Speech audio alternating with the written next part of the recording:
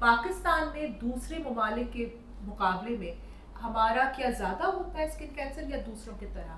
के का तकरीबन नब्बे फ़ीसद जो स्किन कैंसर के केसेस होते हैं उसका उसमें जो रिस्क फैक्टर होता है वो यही अल्ट्रावायलेट रेडिएशन या रेज होती हैं जो कि ज़्यादातर सन से होती हैं।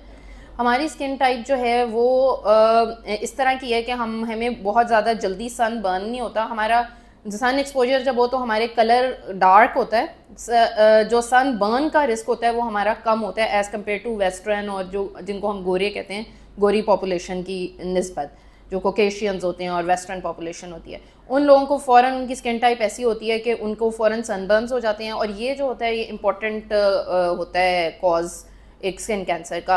यानी वो स्किन टाइप्स जिनके कलर बहुत ज़्यादा गोरे हैं जिनके हेयर कलर जो है वो लाइट है आई कलर्स जिनके कलर्ड आइज़ हैं तो ये वाले सारे जो लोग होते हैं इनको ज़्यादा रिस्क है हमारी नस्बत।